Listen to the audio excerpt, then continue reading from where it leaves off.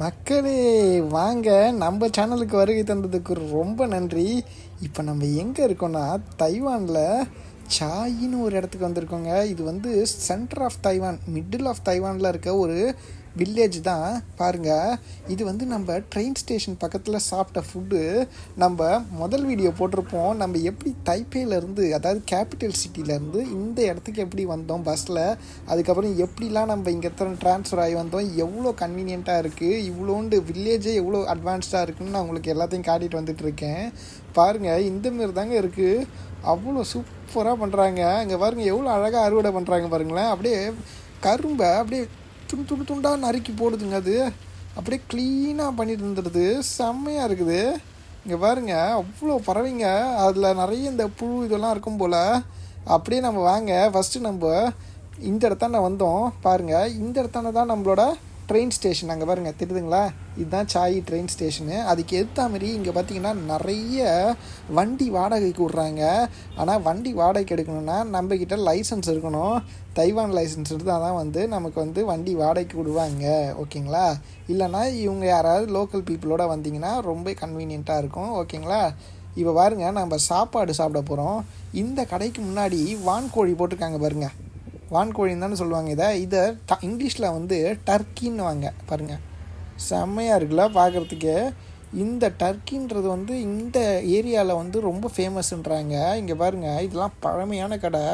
பாருங்கள் சூப்பராக இருக்குது இது நம்ம எப்படி இருக்குன்னு ட்ரை பண்ணலான்னு சொல்லிட்டு வந்திருக்கோம். நம்ம தைப்பேயில் ஒரு ஒரு தடவை சாப்பிட்ருக்கேன் நான்.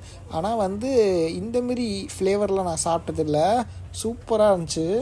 அதாவது இது சிக்கன் மாரியே தான் இருக்கும். கிட்டத்தட்ட ஆனால் வந்து சைஸ் ரொம்ப பெருசாக இருக்கும். மீட் வந்து கொஞ்சம் ரஃப்பாக இருக்க மாதிரி இருக்குது கொஞ்சம் சிக்கன் மாரி அவ்வளோ சாஃப்டாக இல்லை.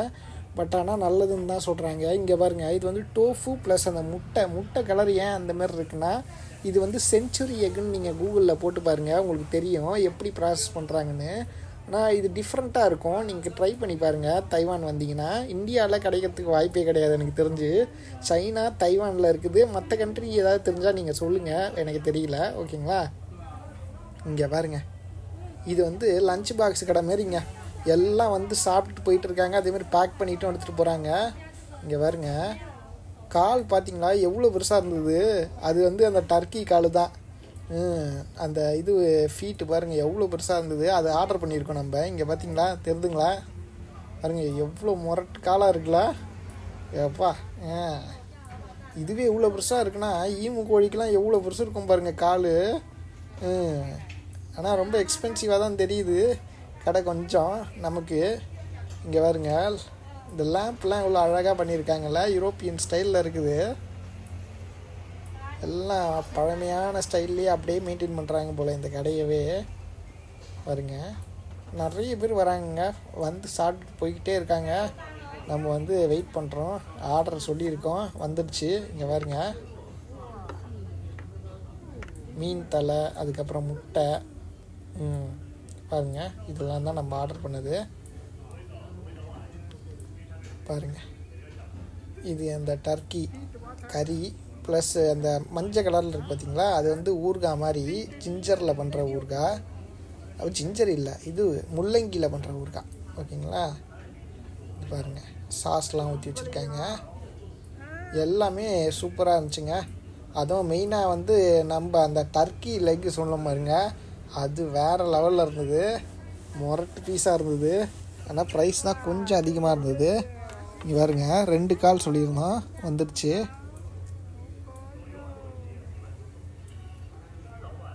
பயங்கரமாக இருக்குல்ல? நம்ம ஊரில் இருக்கும்போது நம்ம அவ்வளோவா இந்தமாரி கால்லாம் சாப்பிட்டது கிடையாது. லெக் பீஸ் சாப்பிடுவோம். ஆனால் இந்தமாரி இது ஃபீட்டெல்லாம் சாப்பிட்டது கிடையாது.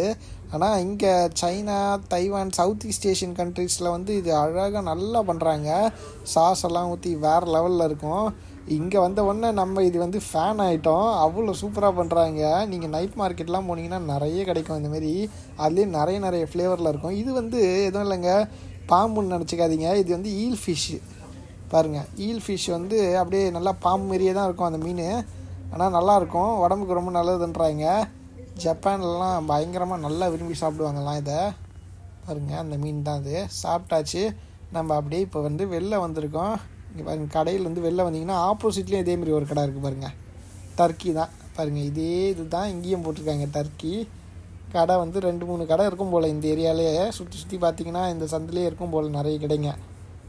இங்கே வந்து கை கழுவுறதுக்கு சின்னதாக வச்சுருக்காங்க வாஷ் பேஷனு கொஞ்சோண்டு இவ்வளோண்டு தான் இருக்குது அது சைஸு இங்கே பாருங்கள் யூ பைக் ஓட்டிகிட்டு பறக்கிறாங்க.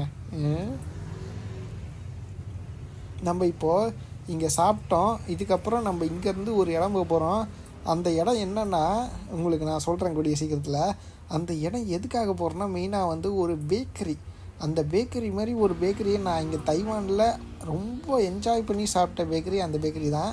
இப்போ வந்து நம்ம இங்கே ரெண்ட் எடுக்கிறதுக்கு வந்திருக்கோங்க. பாருங்கள் ரொம்ப அதிகமாக சொல்கிறாங்க விலை இப்போது நான்லாம் வந்த புதுசில் ஒரு நாலஞ்சு வருஷத்துக்கு முன்னாடி ரெண்ட்டுலாம் எனக்கு தெரிஞ்சு one twenty five CC scooter இருக்குது பார்த்தீங்களா அந்த ஸ்கூட்டர் விலை வந்து ஒரு நாளைக்கு வந்து ரெண்ட்டு வந்து நானூறோ முந்நூற்றி ஐம்பது அந்த ரேஞ்சில் தான் இருந்ததுங்க.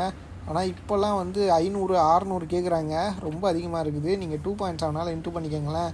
அந்த அளவுக்கு ரேட் ஆகுது. அதேமாதிரி நீங்கள் வீக்கெண்டில் வந்துட்டீங்க. இந்தமாரி ஸ்பெஷல் ஹாலிடேயில் வந்தீங்கன்னா முடிஞ்சு போச்சு.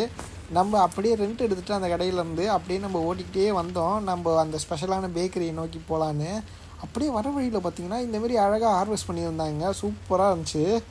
சூப்பராக பண்ணுறாங்க பாருங்கள் அவ்வளோ பறவைங்க நிற்குதுங்க சுற்றி அதில் நிறைய இந்த பூச்சி பூவெலாம் வரும் போல் மேலே.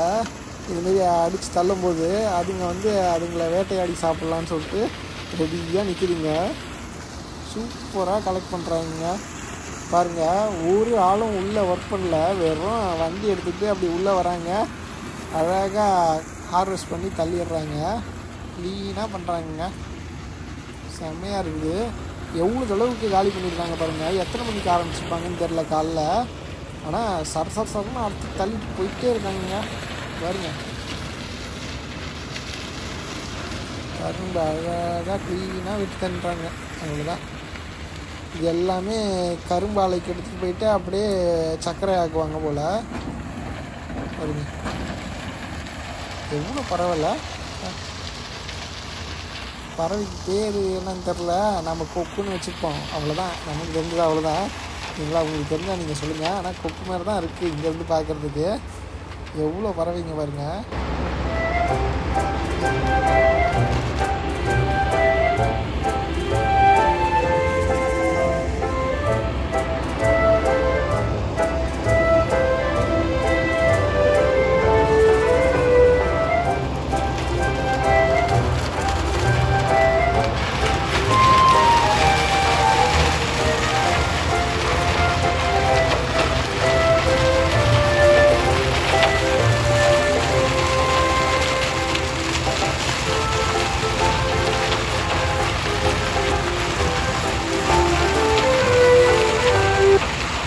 ஆக்கா அங்கே பாருங்க எப்படி பறக்குது பாருங்க.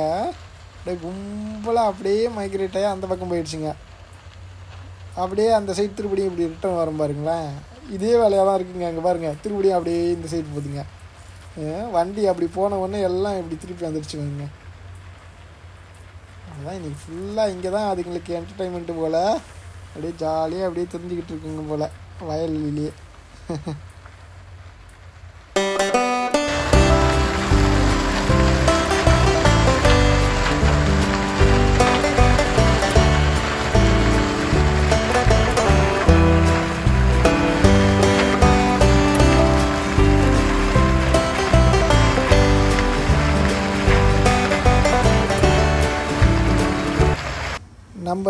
இந்த கடைக்கு தாங்க அடுத்த வீடியோவில் நாம் போக போகிறோம் பாருங்கள் செம்மையாக இருக்கும். இந்த கடை தான் நான் சொன்னது.